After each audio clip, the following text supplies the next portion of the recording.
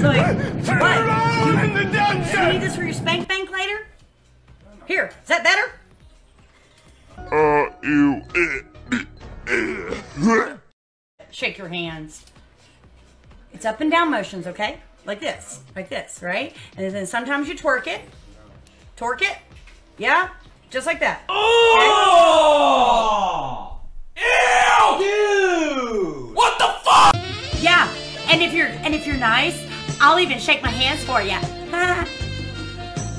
That's nasty.